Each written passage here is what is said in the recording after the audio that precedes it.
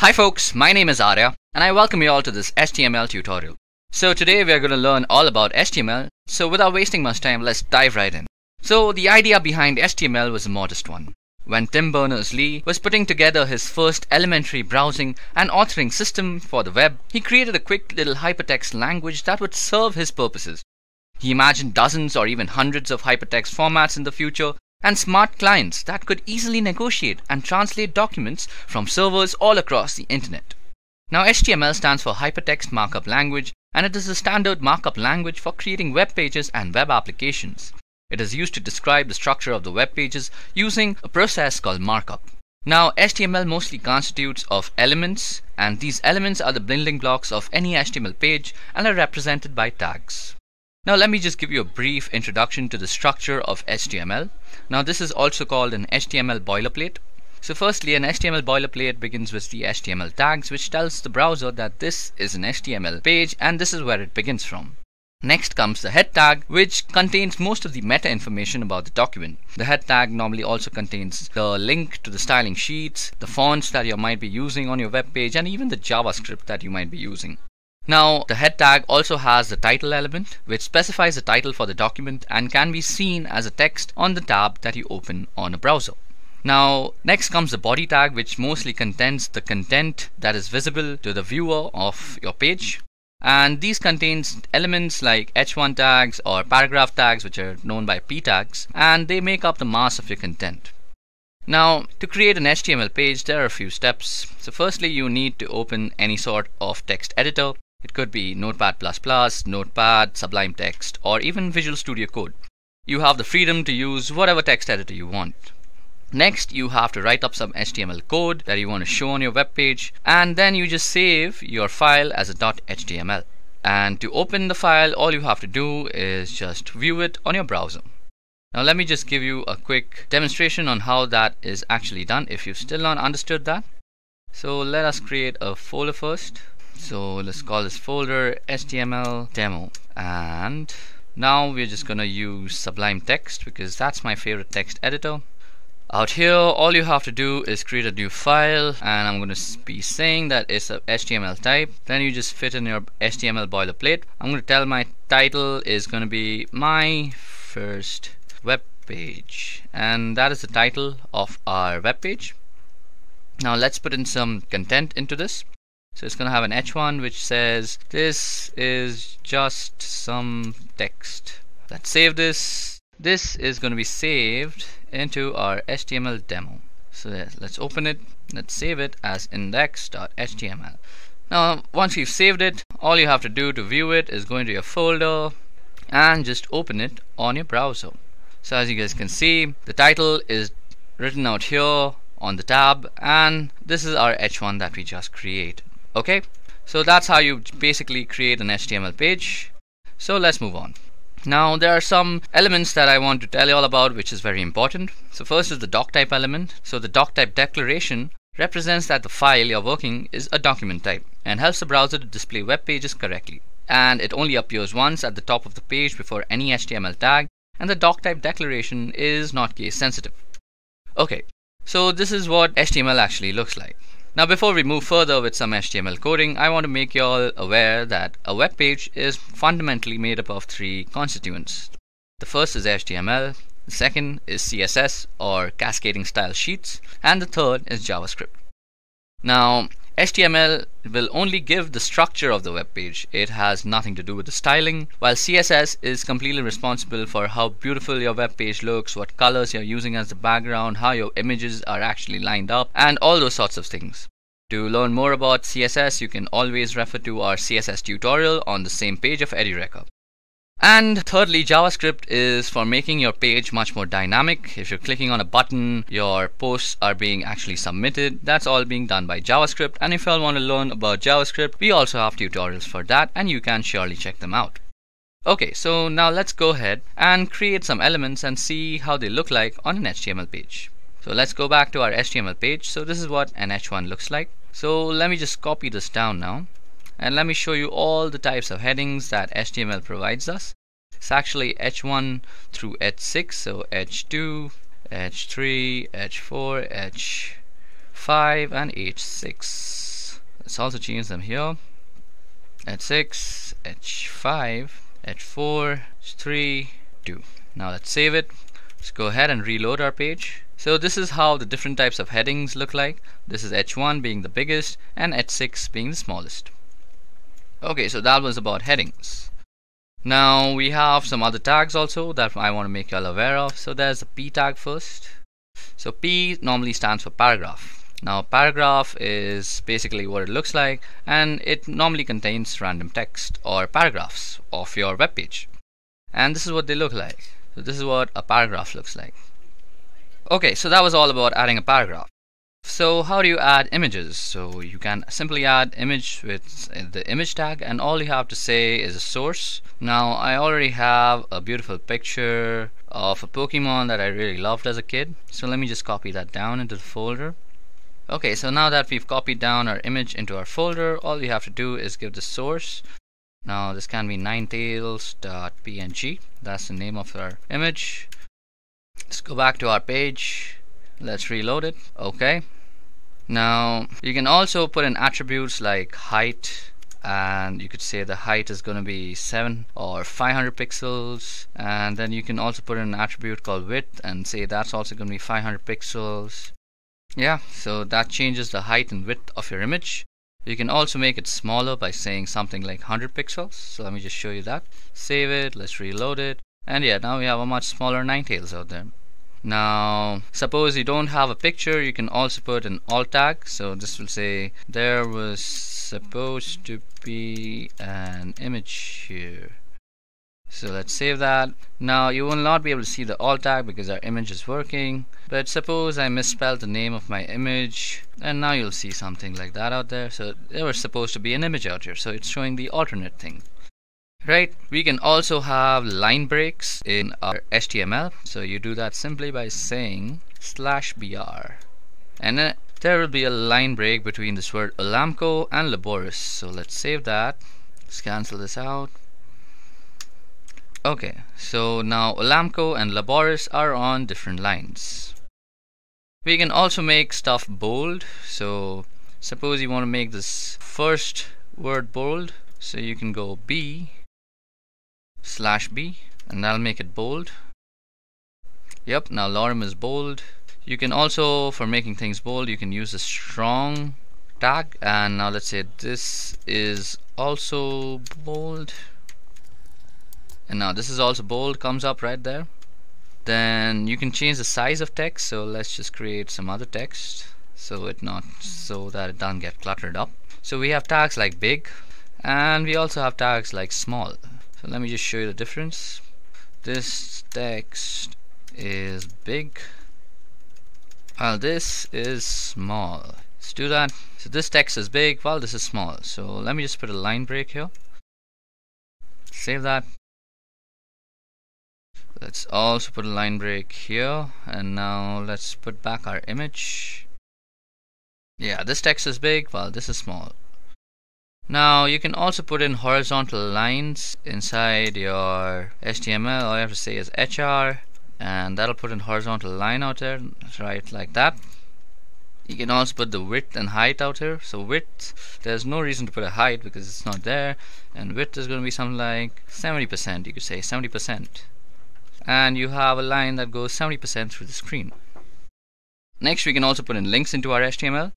So suppose you want to go to a site, so let's say you want to go to Edureka. Now we can put some text like say this is a link to a website. Let's save that, let's put it here. And now this will take us to edureka.co. Yep, so that's how it works. You can also put links on images. So suppose we were to remove this text out here, copy this image from here and just put it out here. Now if we were to click on the image, it'll take us to edureka.co. Okay. You can also add lists into your HTML page. So there are two types of lists. One is an ordered list. So ordered lists are numbered lists and you can put in list items like this so let's put in a bunch of list items. Okay, so let's type in some text. So this is a random list. So list items are actually going to be the things that you're going to list out. So these could be anything that you're listing out. You could list out your favorite dogs, you could list out your favorite chocolates or anything like that. Let me just show you what that looks like. Let's go back to our page and this is what it looks like so as you guys can see we have a list out here which says this is a random list this is a random list and just to make it a little more creative let's go and put in some stuff like that. So firstly let's put an h2 out here. These are some of my favorite dogs. Uh, let's say I love Samoyeds. I also love Corgis. I love Huskies. And I also love golden retrievers. So now we'll have an actually good list out here. So these are some of my favorite dogs now if I were to just make this an unordered list so we could also have unordered lists. So this is how you create an unordered list. You just go ul and then you put in your list items. So I'm gonna say so let's put in h2 again and these are some of my favorite heroes in Dota 2 so list item this is gonna be let's see I really love playing Shadow Fiend then let's put in some other heroes like Storm Spirit Invoker and uh, let's say Templar Assassin. Let's save that and let's see. So these are some of my favorite heroes in Dota 2 now if you see our H2 is kind of indented. That is because we have put it inside our list. Now if you were to just cut it out and put it outside let's reindent my lines and let's see. So now it's properly showing so these are some of my favorite heroes in Dota 2 you can also put in images in these list items. So suppose we were to put in some images of Shadow Fiend Storm Spirit. You would just put an image out here and you would put the source. Now I don't really have images but you can also put in the URL of images. So let me just show you how to do that. So let's see Shadow Fiend let's go into the images let's find something small like let's say 300 x 300 okay so this looks like a nice cartoonish figure. So we open this image in the new tab and we copy down this link. So you can see the source is this link. Let's save it. Let's see if it shows up. Yep and now this thing shows up just outside Shadow Fiend. You can also put in some styling or some attributes like you say width is going to be 100 pixels and height is going to be 100 pixels so let's save that now. And now it's a much smaller image of Shadow Fiend. Now we have other types of tags also so these are called div tags. So div tag stands for division. So to divide your page into separate parts you could say this will contain the footer. So footer tags are normally coming in the end. Now you could also have a div tag in the beginning and this could contain the header. So these tags will contain the header. This is so let me just put in some header. So this is the header and this is the footer. So this is the header, headers always come on top and this is the footer. Now you can also create forms using HTML. So let's go ahead and create one. So our form is going to be called a registration form. Okay, so now let's put our form in a div first of all. So let's give our div an ID. So IDs and classes are actually used to select stuff on an HTML page when you're styling. So to understand more about IDs, check out our CSS tutorial. Let's give this ID form or registration form rather. Then let's go into our div and create a form. Our form will always stay inside our form tags. Now that we have done that, let's understand the elements of a form. Firstly, we need an input. So first input will be of type text.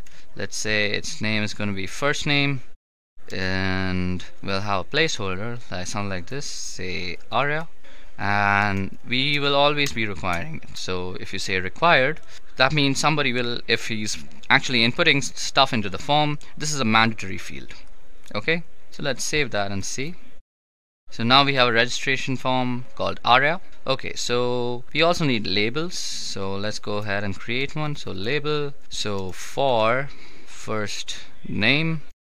And this is going to say first name. And it's going to have a colon. So now there's a label called first name. Now we can do this for last name also. So let's control C control V. So it's gonna be last. It's gonna be last and this is also gonna be last. And we want to put a placeholder for Paul. And this is also a required field. So now we have a last name with this placeholder. We can submit stuff into that. Now form also takes in two important attributes I forgot to mention. So one is the action and the other is the method. Now action is something that will happen when you submit this form. So you can run a script something like script.php but for now that's for another session okay. Now there are other types of inputs so let's see let's create another div. Now suppose you want to input the gender also. So let's see let's first create a label. And let's also create an input type. So input will be type of radio. And this is going to be called gender male. And let's also give us a value of choice 1 save it now you want to label and you want to give it the attribute for and you want to give it the name out here. So let's put in that. So gender male save that and let's write male out here. So let's save that now and let's see what it looks like. So now we have this thing called male. We can check it and we can uncheck it. Now let's create for female also and others. So let's see. Let's call this female and this is going to be of type choice 2 now we have male we have female. But if you see we can actually select both of them or all of them. So that's not something we want right? So let's make this choice 3 let's make this other.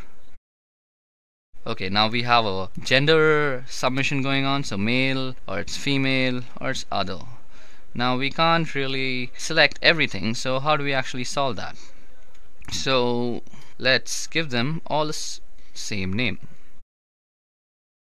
so we can call it gender choice save it now you either go male or you go female or you go other you can't really select the same thing so that's how you make that happen. Okay, now let's look into some other types of input types we can take in. So let's create another div. Suppose you want to take in the email address. Let's go ahead and copy that. Let's put it out here. Let's say, so label for, let's see, first of all, we need to change this type to email. And we will also give this a name of email. Let's put in a placeholder instead of a value and it's going to be something like let's put xyz at the rate email.com okay now we have this thing going on so let's change this label to email and let's change this label to email too. Now we have this thing going and we can type in our email. And we'll also need to type in a password for registrations. Let's call this password. Let's also make this password. The type is going to be password. And let's remove a placeholder because passwords don't really have placeholders. Save that. And now you see when you type in a password you can't really see anything that's how you make a form that inputs a password okay so that was how you take in emails and passwords in a form now there are some other stuff that I want to show you so let's dive right into that so let's create another div Okay, so first of all we need a select tag. So select tags are used for making selections. So let me show you how that works. So firstly let's give this a name and let's call this birthday or let's call this the month. Now we'll also need a label for this. Let's create a label. So our label is for month. Let's call it birthday. Now our select can have various options so you're basically going to put in a bunch of options out here let's see option now we need 12 options actually that's 3 that's 6 that's 9 that's 12 delete these out. Just read in my lines. Now our options are gonna have values.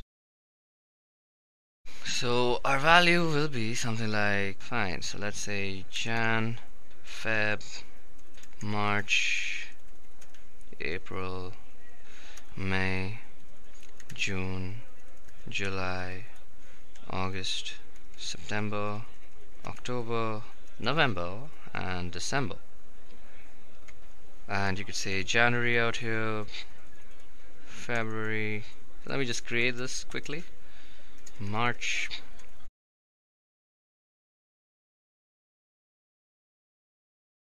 Let's save this. Now let's see what this looks like. So we have this birthday thing and it has all the months in there. Okay, now out here, if you see, it already comes with a default value of January. Now you can also mitigate that by putting in another option called default. So let's put another option or so now that we have an option, let's give this a value 0 and let's say selected disabled. Now if you reload this, there's nothing, but you get all these different values.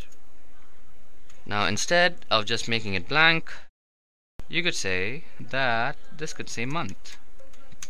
So now this says month and you could create something similar for days also.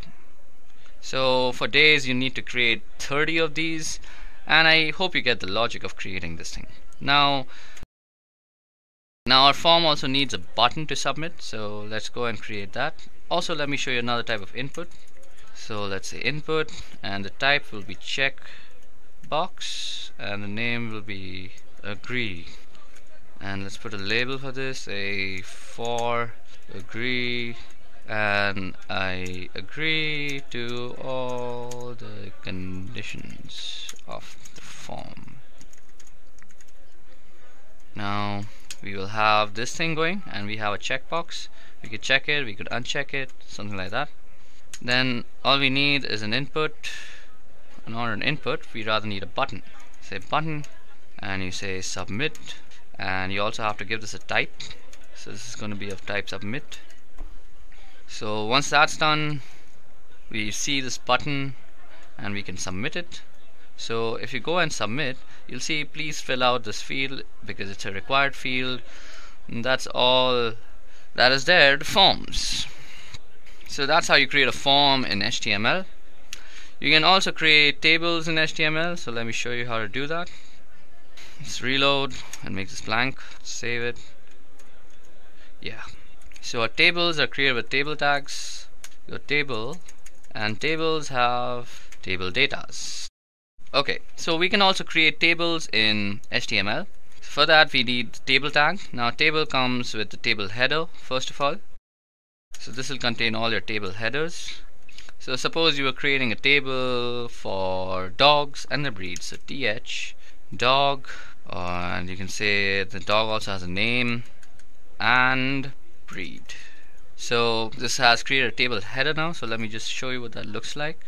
So now we have the dog name and breed. Now we can just simply go in and put in some table rows. So for the row you say tr and in every row you will have to put in some table data. So for that you use the table data tag so td so let's say our dog is called so let's make this rather dog owner name.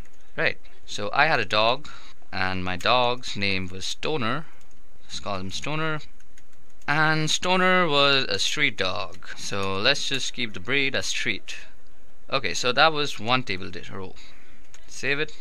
Now we'll be needing multiple table rows. So let's just copy that paste it multiple times. So let's say my friend Shubham he has a dog called Goldie and it's a retriever and then I also have this friend called Ayushman. He has a dog called Duke and it's husky. And then there's this guy called Ishan.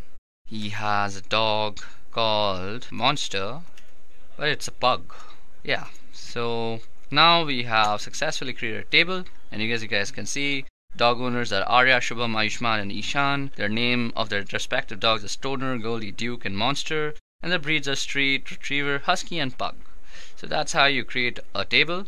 Now with CSS you can add a border to this table. So let me just show you how that's done with a little bit of CSS. So let's say style.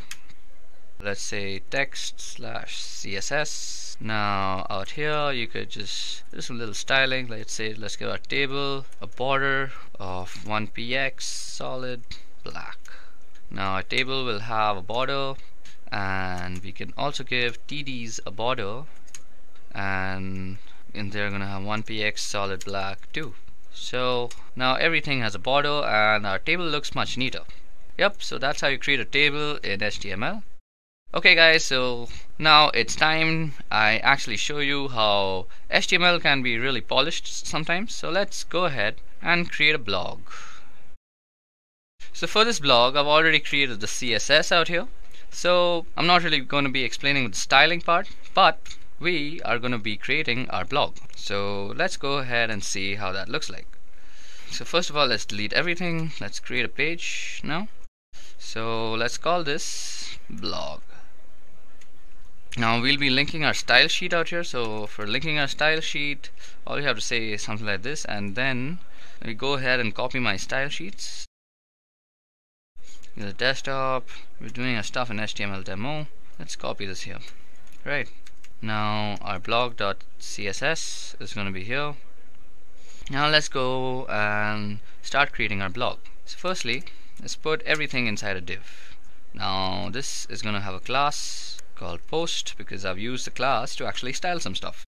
Now that's done so let's have another div. So this is going to have a class called date and we're going to be putting in the date.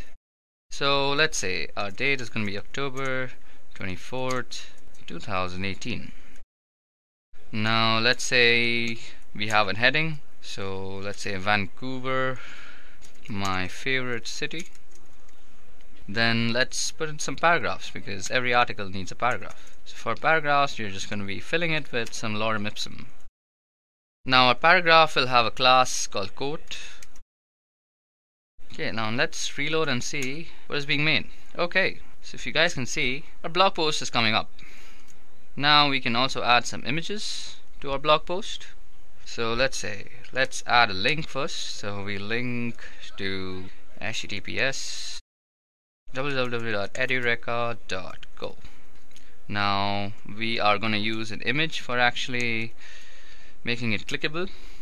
So we already have an image. It's called image1.jpg. So that's there.